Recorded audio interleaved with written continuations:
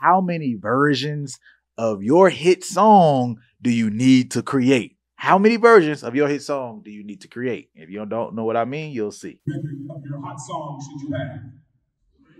I'm sorry?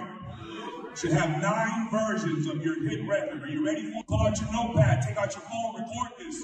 Remember this, because this is the shit that you drove from Missouri here for, right? You didn't come here for branding and all the other shit.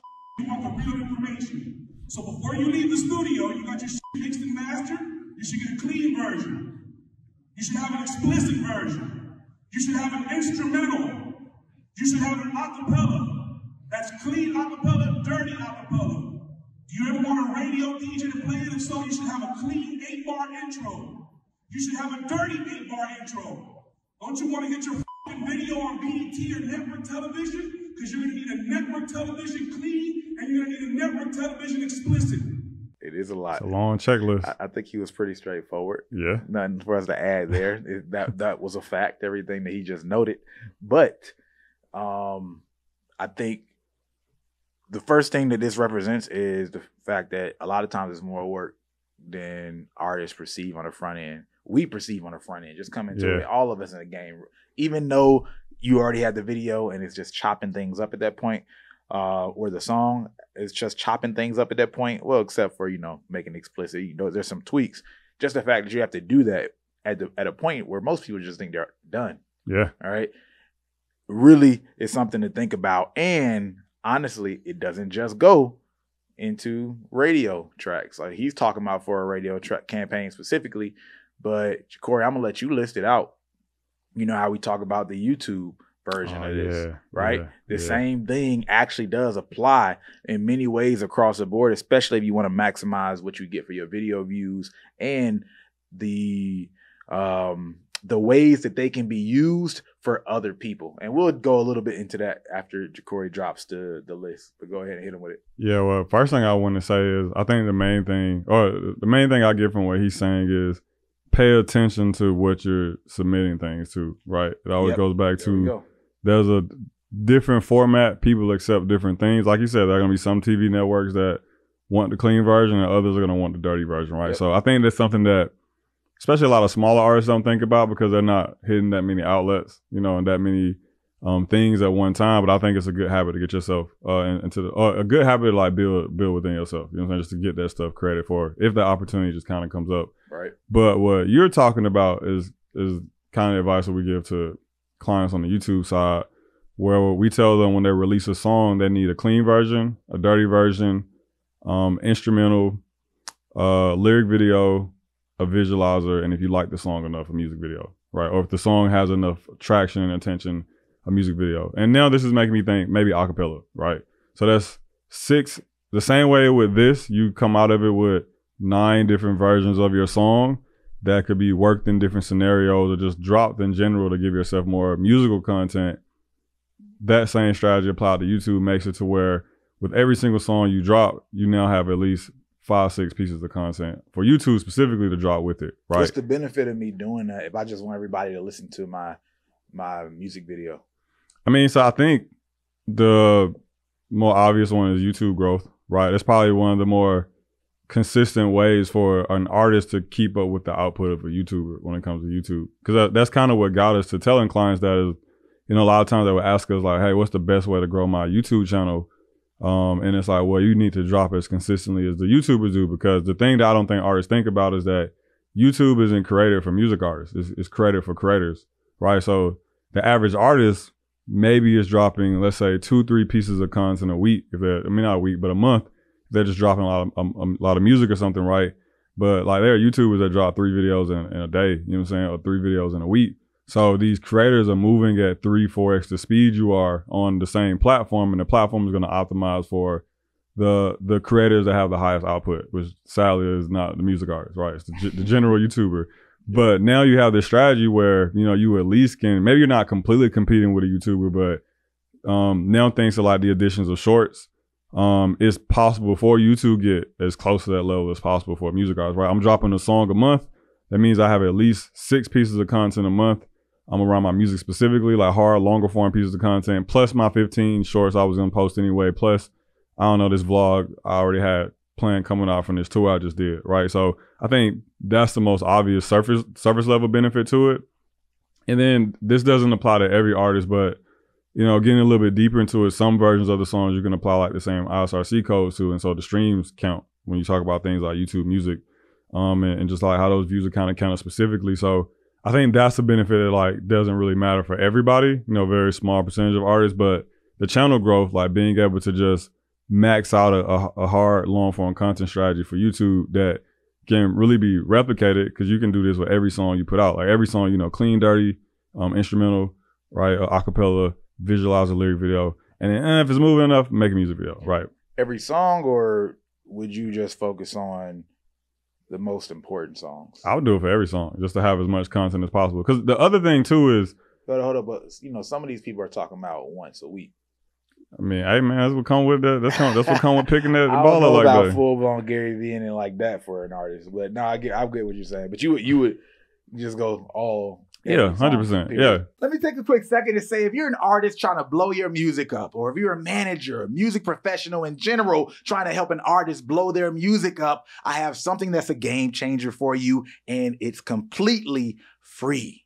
As you may know, we've helped multiple artists go from zero to hundreds of thousands of streams. We've helped multiple artists go from hundreds of thousands to millions of streams, chart on Billboard, go viral, all of that stuff. And we've now made the way we've branded multiple artists and helped them go viral completely free, step by step in Brandman Network. All you have to do is check out brandmannetwork.com. You apply, it's completely free. But the thing is, we're not going to let everybody in forever. So the faster you apply, the better your chance of getting accepted. Brandmannetwork.com. Check it out. Back to the video. because the other thing about it too is, you know, we always tie it back to how do the consumers want to consume things, and there are some people that like to have a visualizer put up on their their TV while they while they're working in the background. You know what I'm saying? yes. See, you touching on something important because to me, I think people need to rethink what they think of when they hear a lyric video. Yeah, right? So you can actually combine the audio and visualizer and lyric video into one Yeah. if you want to, right? Because the audio is just the audio, so it doesn't have to be the main video. They're gonna hear it when they see the lyric video. yeah, But the lyric video can now, based on how consumers consume stuff, be the visualizer, and then you just have it transcribed at the, the bottom, just like how people watch a Yeah. TikTok and then people see the text of what you're saying. yeah, You can get away with doing that. So now you have that two in one because it's very hard for people to have very interesting lyric videos, right? I remember when lyric videos started popping and became and became way more popular before visualizers became a thing, right? And people just realized they could just do something interesting Mhm. beyond having the lyrics move around Yeah, so much, right? screen Yeah, bouncing yeah. on the screen. and then everybody was just trying to like like you know ponder on how they can make it interesting and more and more interesting. And you can only make that but so many so interesting right? Yeah, people aren't going to care but so much when it's all based around the lyrics and that's it. But if you got a cool visualizer because it was from a video game or something that you want to represent like Lil Mhm. Nas did with uh Red Dead Redemption and putting it on Old Town Road or if you want to just actually have like some footage it could be like a, a vlog of you right so that represents the song topic or not not a not a music video but like just some flashing footage kind of Yeah. like how you think about the uh canvas on Spotify yeah, right? exactly, yeah, like it could be like that, just repeating over and over again of you, or it could be something a little bit more extensive, but still not the pressure of a music video.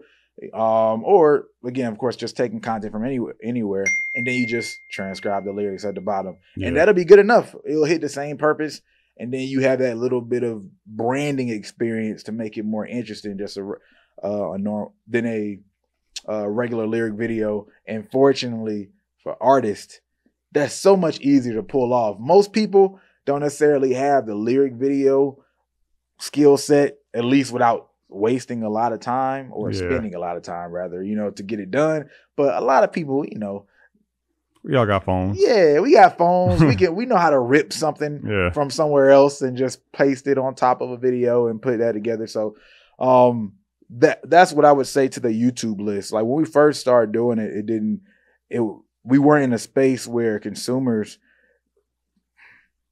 would respond to visualizers as much and as well in these different types of content and TikTok wasn't popping as heavy and so people weren't used to just being seeing transcriptions and stuff as much but the way things in, have evolved you could take what three of those things off that list and make it one Yeah, yeah. I think yeah. I think the best example I've kind of seen of it, I know the Weeknd does it a lot when he drops music.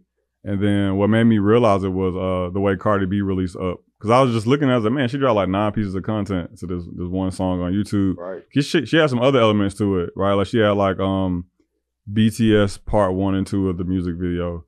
She did this one thing where she called it a mood board, and it was really just, in my opinion, the same thing as a visualizer, but it was just a bunch of different photos flashing across the screen while the song played in the background. So like she really milked it, you know what I'm saying? So that's why I say I think like to your point, yeah, if you're an artist where you don't have the resources to get all this stuff made, then yeah, a lot of them can be knocked into, you know, like a lot of them can you can take three ideas and turn it into one. yep But I mean, I think if you're trying to get like maximum bang for buck, you know, like maximum output for each one, you have the the budget for it and, the, and the, the brand um to be able to put it together. How many would love it. versions of your record, love it. I would have all of it. 100% Like just just shooting out, bro. Just just max out YouTube. yeah, let's put that on the screen real quick just for people um Oh, yeah, let's to, look at to be able to see. So yeah, Cardi B has Cardi B mood board visualizer. Uh, Yeah. the live performance. right. And let me kind of play a little bit of the mood board visualizer so people can get a sense of what it looks like. Oops. Copyright. Nah, it's the no, I'm not gonna. Oh, no, it's, it's muted. alright. Yeah, it's muted. Now, We're talking about the visual. yeah, nobody's gonna hear anything. We ain't dealing with none of those copyright strikes. All right, so it's like a bunch of pictures flashing, hmm which is which is dope, and a little bit of video thrown in between. But that's actually pretty hard Yeah, this is fun. because this actually does look like it was the mood board for that scene. So Mhm. that's how they're matching it up. It's like when we came up with this scene, this was the mood board, Mhm. and they probably had, you know, a mood board before this mood board. Yeah. You know what I mean? When they were in pre-production, but but no, this is hard. I I actually like that concept. I would like to see that more. Yeah. This is show them the scene and then show them the the mood board or inspiration for that particular scene because that's what we do creatively all the time. Anyways, Yeah. usually some kind of inspiration or because it's hard to describe creative shit to people without giving them some reference points. Yeah. Anyway. Yeah. So nah, that's that's a real hard. And that's what I like about this too. Is like it's taking the mundane, taking that thing you had to do anyway, and Mhm. turning it into like a really interesting piece of content. Heck yeah, nah, Yeah. that that's a hard ass. Yeah, but she got a lot. Yeah, it's instrumental. Instrumentals when I can understand like why everybody wouldn't want to do. Right. You know, that to me, I guess, would depend on your relationship with the producer, how they feel Yeah, about it. and, and also just yeah, your relationship with owning your own shit. Yeah, Period. Uh, you know, Niggas don't want to get else take the track and then run it up on. Them. Yeah, on exactly. Yeah. And niggas don't want to get Lil Wayne from some random artist on YouTube. Right, right. So she also has her performance with Meg Thee Stallion. Oh yeah, the live performance video. yeah, Um, she has behind the scenes part one and two. part one and two. All right. So it's like really made a moment out of this. Where's part one? All right, so there's part one. I'm not gonna play part one. Then there's the instrumental, an official lyric video. All this stuff is beautiful because the artist doesn't have to be involved. hmm We already got the footage, post production and stuff like that. So yeah, okay.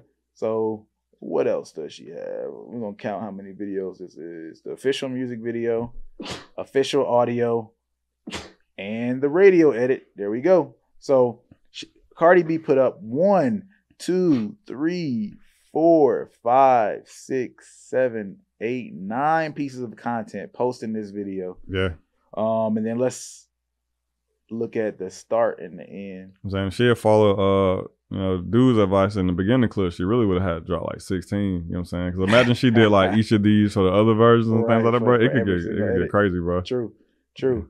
Uh, let it. Let me see. That was February fifth, twenty twenty one, when the radio edit dropped, and then the mood board, which was the final piece of content, was March 16th. March sixteenth. So, yeah, she was able to take a whole month to pull all that stuff together. That's dope. That's dope. So, this is exactly what we're talking about. Of course, it's not a one size fits all. Maybe for some videos you do something like a mood board and some video or, or songs. Some songs you might not be inspired to that Yeah. extent, right? Exactly. But the the concept is still true. Uh, you want to have those multiple versions out there. It's an easy way to milk the song itself and get different parts of your vision out there. And then also on the other end, it also helps other people use your content for their platform without you having to go back. Because that's really the main purpose of what um, he mentioned. I, I, don't- I actually don't know his name, but I know it's uh, IG Art Rev Soul, or at least that's where they it's posted from. No, that's think- uh that's the Rap Coalition guy, right? He not I don't know if he's with Rap Coalition, but he they have the uh the podcast. The Oh, with Wendy. Yes? Yeah. come on, I know the name of the podcast. I, I hate that I'm I'm missing it right now. Um, cheat the, the cheat code podcast. Yeah, yeah. Like he's he's one of those people. Um, but nah, yeah, shout out to him for that that um post, really dope. And we actually have something that goes along with the same category